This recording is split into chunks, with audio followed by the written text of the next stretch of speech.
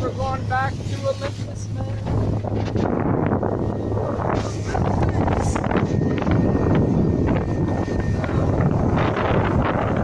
You'll only see this once in your life, man. Once in your life.